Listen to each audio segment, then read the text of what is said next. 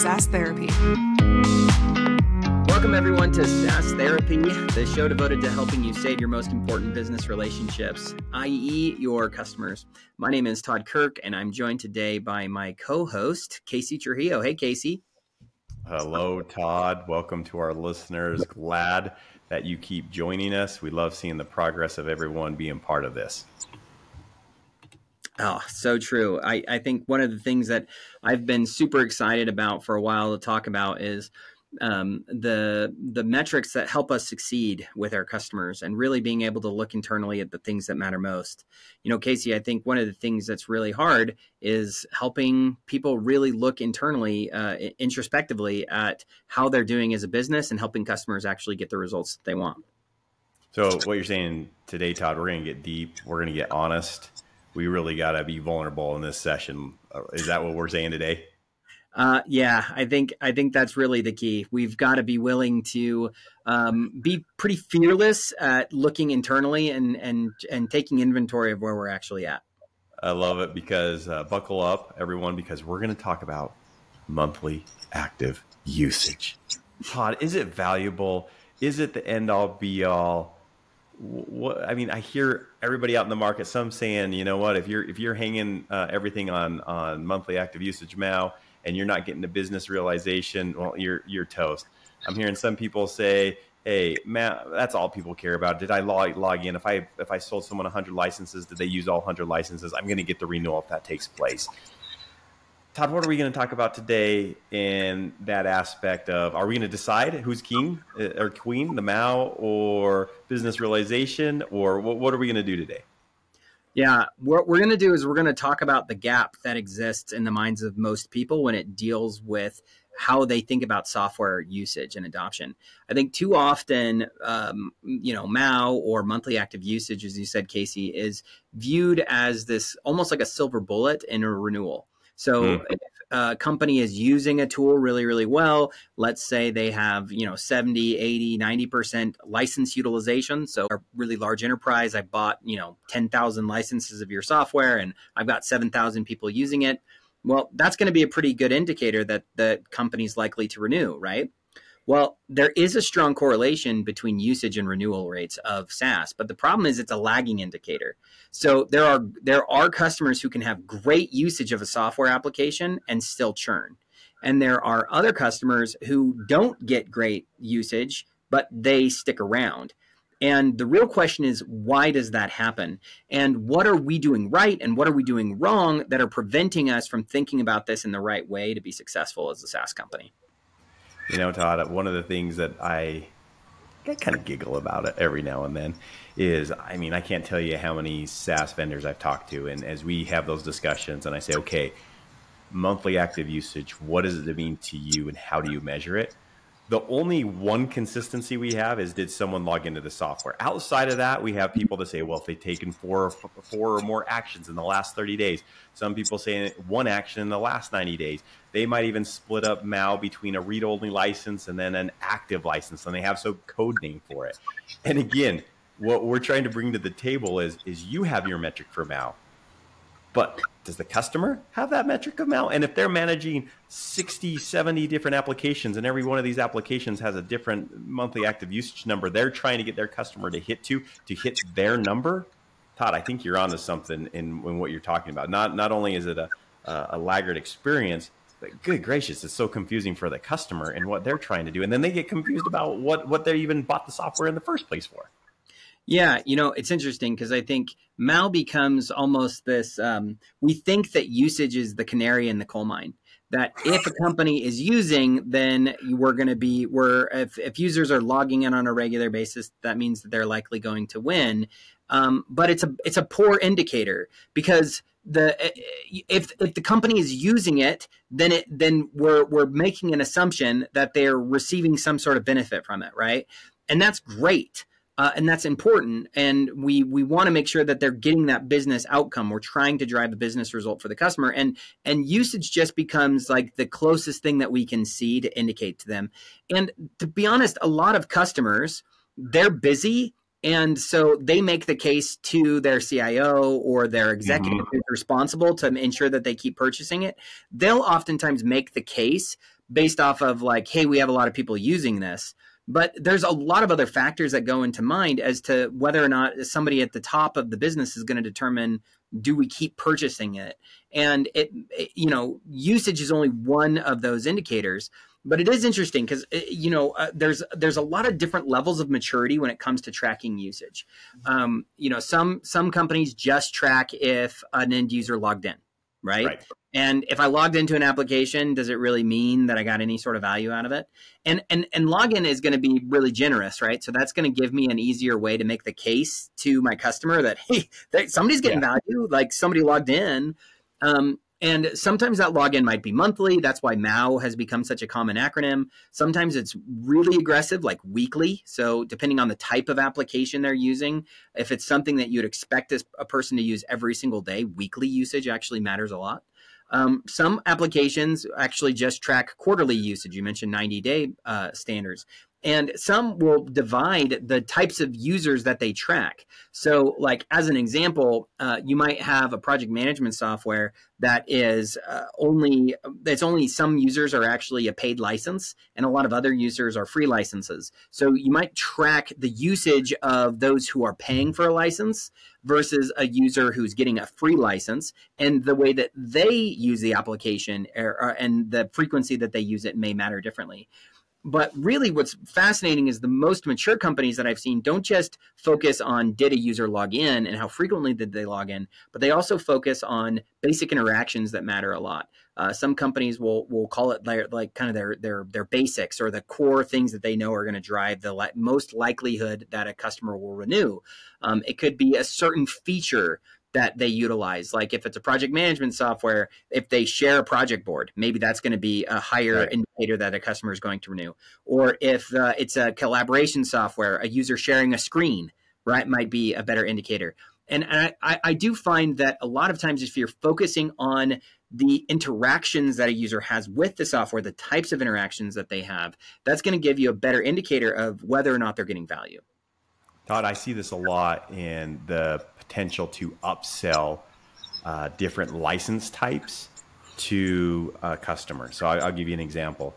Um, I remember working with this one software vendor, and they said everybody's adopted our platform. I mean, everybody.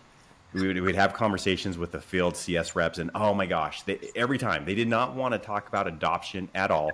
Hey, everyone has adopted our software. But as you looked into their graph data, as you looked into, hey, what features were they using? The only thing they were using were chat.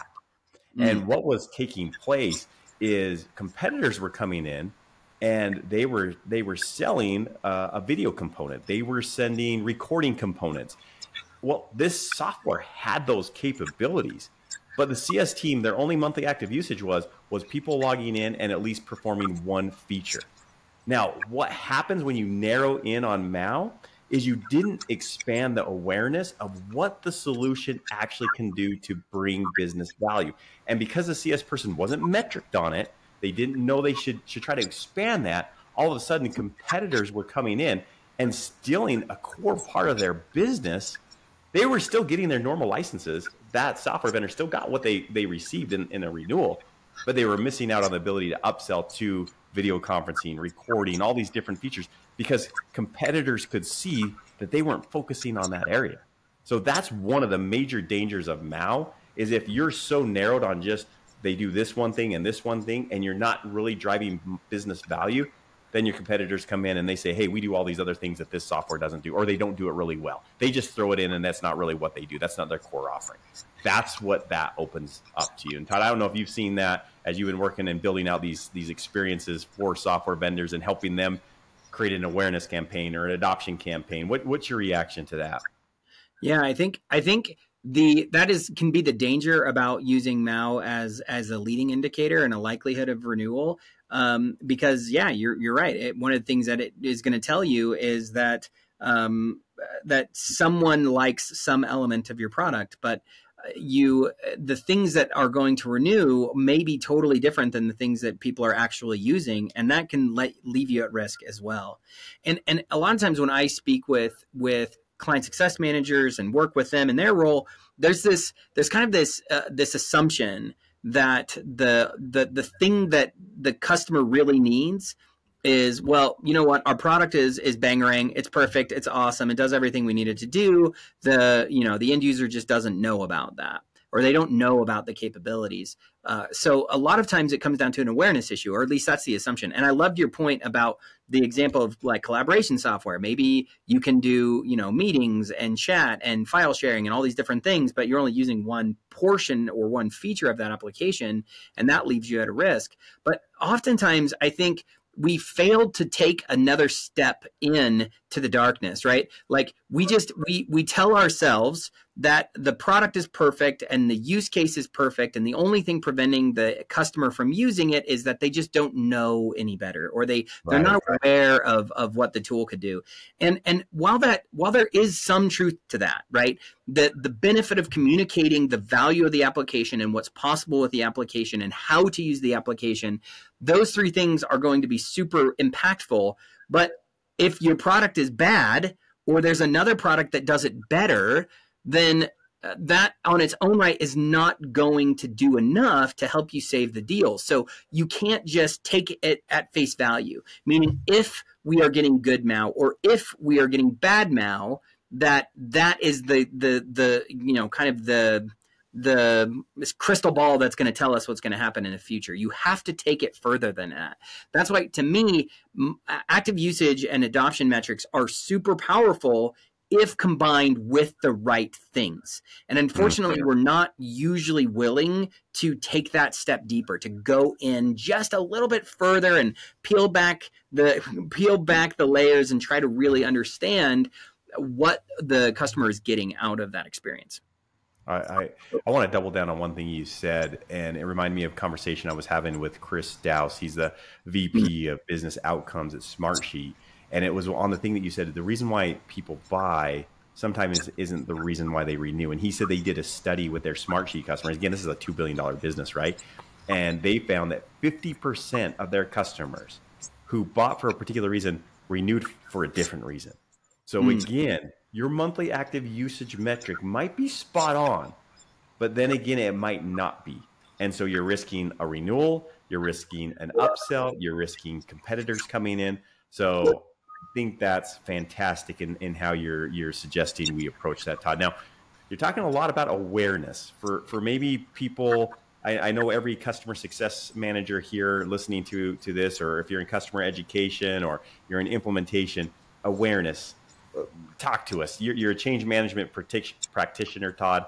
Walk to us what you mean by awareness. Help help everyone and the audience kind of understand that a little bit more.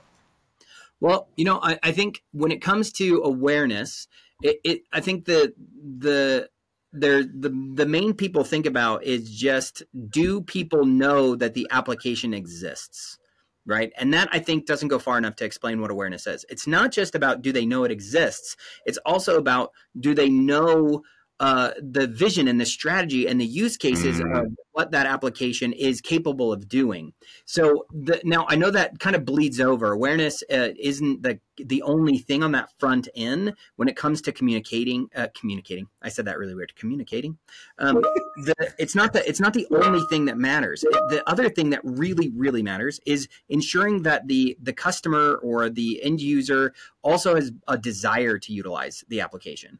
And the way you build a desire is help them understand what's going to be in it for them. And and that's not just a matter of like this is the tool and this is what it does. So what your message is um, has to be really clear. It has to speak to the user. It has to speak to them, help them understand exactly what they need to do. And if, if it doesn't, you're going to be in, in big, big trouble. Meaning, um, the the end user is not going to be able to connect the value of your application to their day to day work, and they're less likely to see it and use it on a regular basis or return back to it. So it's really about establishing a vision first and foremost, and fig- figuring out what's the message um, what's the strategy? What are the use cases? And then it even goes so far as to uh, what's the distribution model. So, like, how is this how is uh, what's it going to cost for me to get access to such and such feature? Or how am i going to distribute or give a license to my team? Or how do i get other people to use it? And if people don't know those things as well that's going to be a really big blocker in getting them even started in the, in the beginning. So they have to see where they're going. You know i think one of the things that's really critical in the retention cycle is it's not just about awareness of the app. It's about anticipated value using the application. And so you mm-hmm. want to make sure that the user can see a path forward to where they're going to go. And you know what? They get to decide even at that point if they actually want to use it or not. But we do a poor job of making sure that the user understands where they want to go. We just like basically shotgun a whole bunch of information at them. Here's a billion features. Here's what the app does. Let me post about all these all these little things. And we don't step back and pause and try to personalize the message and the vision specifically to that user so that they can connect the dots into where they want to go. Okay, Todd. So again, I'm on the sales side, so uh, it takes me a while to understand all this amazing things that you're talking about. So I want you to break it down just even a little bit more sim- simplistic for me. Um, I just, yeah, I just uh, let's just say I'm in CS, and I just I, I just inherited this customer, and my admin says, "Hey, I want to make some announcements out to our user base, to the licensed users." and let them know about this software. Now, hopefully, obviously, you have a marketing team that's assisting you in CS, or you have an education team that's assisting you. But Todd, if you had this perfect scenario, what would your first three communications look like that you would want your customer to push out to their users? What what would maybe the first three main messages be? Mm. So I would, you know, the the biggest blockers usually for users isn't that they don't believe in the power of a technology. I think uh, it's we're we're kind of we've become numb to the kind of the sales message of like this right. tool is going to be super powerful. Um, and so a lot of times the the value message, even though it's really important, it also comes down a lot to the particulars of what is expected to me uh, for me to do. So, like uh, my three messages would probably include a couple of a combination of different factors. One would be this new tool exists. It's now available. Um, what does that mean for you? And and so that's an important element that I think we forget is we oftentimes talk about what it means for the organization, but we don't talk about what it means for the end user. Um, I actually think both are powerful, though, right? Especially if you're using enterprise software, you want to know that the company wants you to use it. Uh, so having a message that can come from leadership that says, this is why we decided to purchase the software matters but we also want to be able to say what is the benefit going to be to you? So as an example uh, let's say i'm in financial services and i say we purchased a new software and the reason we purchased that software is because we want to ensure that we're not fined as a business. Um, well as an end user using some new technology that's going to prevent the organization from being fined the only moment you start to care, care about that is if the fine is going to lead to you losing your job right? Exactly. So should the message be we're going to use this new software because we don't want to get fined? Like that isn't going to really land well with an end user. Instead, what we should be focusing on is, you know, let's say as an example that it's like where you store your cloud documents or, or, or the policy of what information is retained. Now, all of a sudden you say, well, you know, we're going to do this because it's going to help keep the organization secure, right? Maybe that's a good message you would say. But then you would also say, but it's also going to save you a ton of time and it's going to make it easier for you to find documents or it's going to help you to stay more connected with your customers uh, and do it in a way to where you're not opened up to risk yourself. Uh, so those now all of a sudden you're taking that message and you're moving it from an organizational message down to the end user. So that that's usually where I would start in that first message is there's a new tool, this is why we're doing it, but you need to make sure that you take the steps down and and and, and connect it to the the benefits to the end user, right? It's a carrot rather than a stick. Usually is going to be more impactful.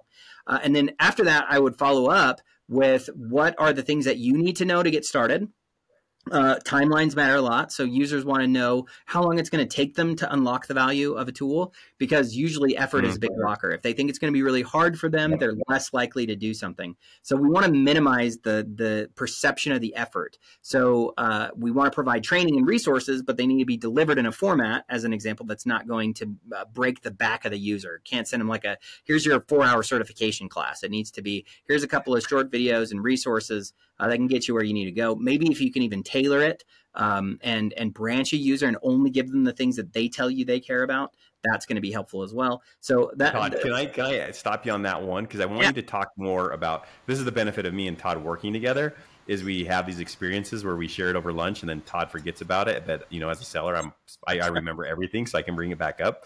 Sure. Todd, do you remember the conversation that you had with a financial institution and a software vendor uh, that just purchased their application. The software vendor said, "Oh, our software's so easy to use. We don't, you know, we just skip to these features." And and they really show here's where you click, here's where you click, here's where you click. but the feedback from the customer was, "Hey, they they don't they want to know how to send a text message in this application. They want to know how to place a call in this application." It seems so simple, but to the SaaS vendors, like we don't even need to cover that. Todd, what was your reaction when you heard both sides? Because again, we're in this we're in this relationship, SaaS therapy. The SaaS vendor saying it's so easy, the customer saying we we need to simplify. Like, what was your reaction as you heard this, and how did how did you get everybody doing the same thing uh, and be on the same side of the table with that? Yeah, it, I think the the there is a, an expectation. I think, and and I I saw this so often when I do professional services back in the day. Is that a lot of times um, vendors want to jump to how to configure the application like how to go into deep settings or you know did you know about this like really hidden little thing that's over here? And they and they they there's this fear of being like patronizing so i get yeah. this right a, if you put yourself in the in the seat of the person who's being asked to train someone if you're going to tell them something that they assume is going to come across as really basic or right. uh, you know then it's like there's a fear that you're going to come across as talking down to someone like yeah. that should be obvious. So why would I tell you? So really, it oftentimes comes down to uh, it goes back to a messaging issue, right? Is that we? I think we. If you think your customer is dumb, then you talk down to them. If you mm-hmm. think that they're smart, you actually talk past them. And so there's this issue of you don't want to talk down to them, but you don't want to talk past them. And what a, what the customers are usually asking for is help someone see the whole journey from start to end.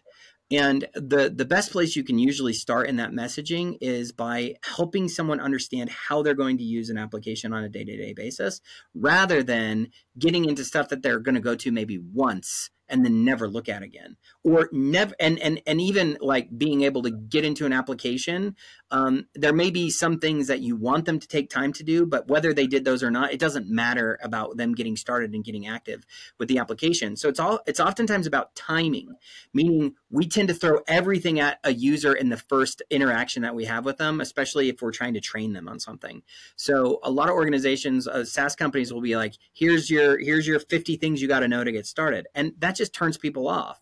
So it's much better to drip that out. Give them like five minutes at the start of something that's has a couple of really cool tips interspersed with some basic concepts. And then in the future, you're like, now that you're using this application, now you're able to go in and say, did you know if you configured this setting, it would actually, you know, stop this notification from annoying you, or it would make this process take less time. So uh, when you share it matters. Uh, and, and creating that journey and spacing, spacing that out will make a massive difference on how an end user is uh, if they're receptive. And then that way you don't have to worry about talking down to someone or talking past them. You're talking to them with the information that they need at that moment. That's really the key.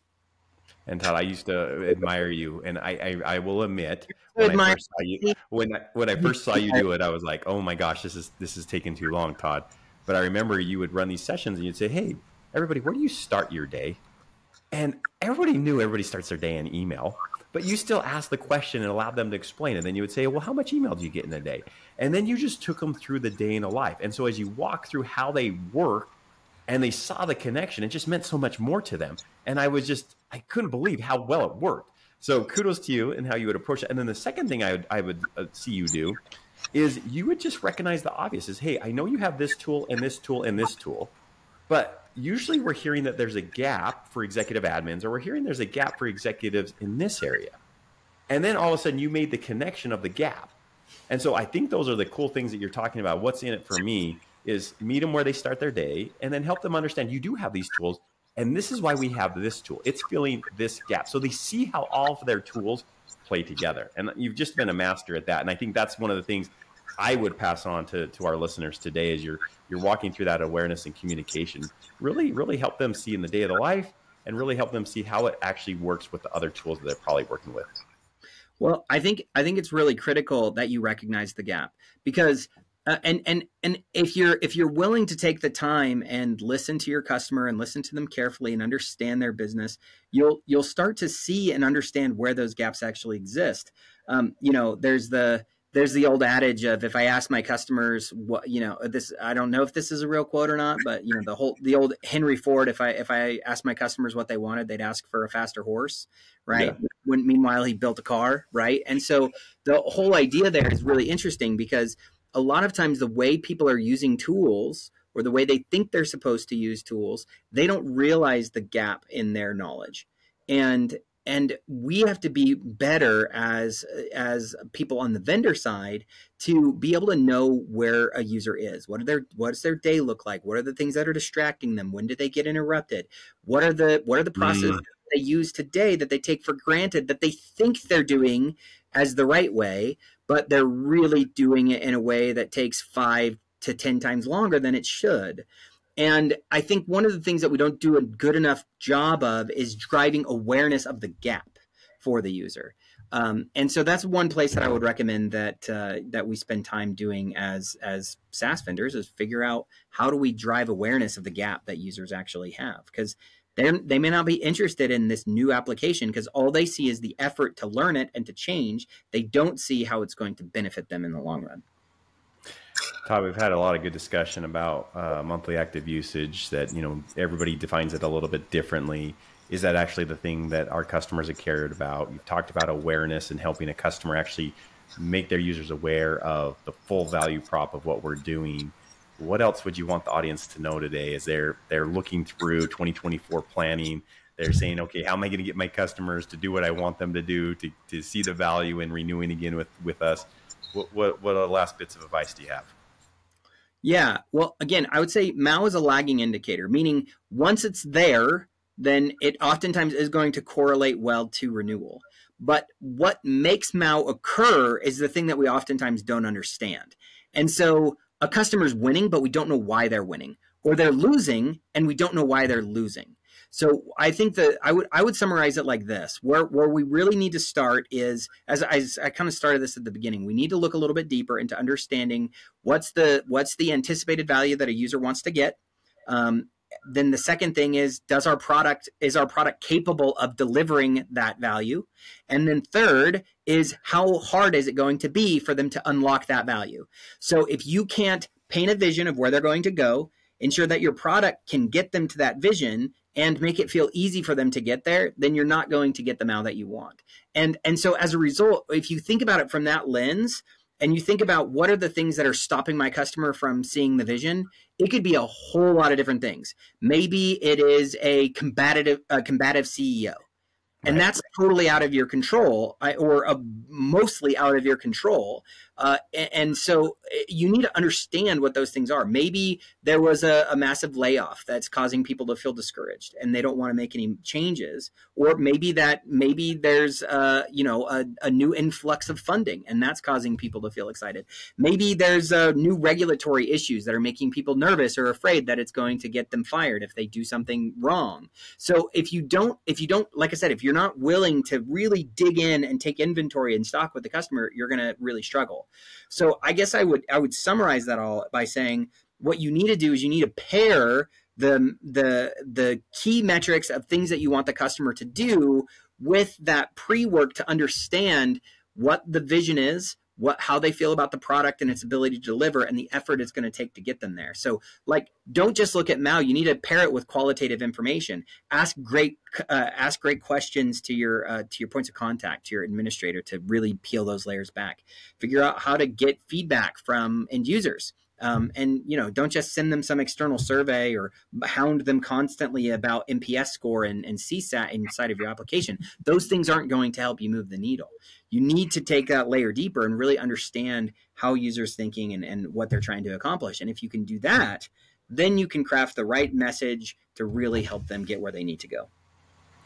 Uh, solid. This is a, a master class today um, one other bit of advice again, if, if your manager is just hounding you on monthly active usage, one of the things that I've seen work really well is is just a just a simple um, aspect of hey, why did we why did we purchase this product? You know, what led you to purchase this product? Well, we wanted X, X, and X value. Okay, in order to get X, X, X value, what features in our applications do your users need to utilize? And so sometimes just doing that little flip, right? And saying, okay, why did we buy this? we wanted users to do these behavior changes. Okay, for those behavior changes to take place, what features in the application would they actually have to use? Oh, these ones. Okay, let's now create a communication campaign or awareness campaign and get them down that road. So sometimes it's just maybe reversing the order. Sometimes maybe we lead with MAU and hope for business realization. What if we led with business realization and said, okay, what features now inside the software do we have to utilize to then get to where we want to go? So Todd, this yeah. is fantastic. Thank you, man. Yeah, of course. Just remember, MAU is, MAU is an outcome of other activities. It's not a it's not a predictor of future activities, and that is the big barrier that I think uh, uh, that we need to that, or that's the uh, that's the misconception that we need to change in the market. And if we can yep. do that, then I think we'll be in a way better position to support our customers. So that's I think our charge today when it comes to thinking about you know we always want to give you homework on on these podcasts. I think it's important for you to take uh, a real introspective look. Don't be fearless uh, to to kind of search and take inventory of where you're actually at and how you're doing at this.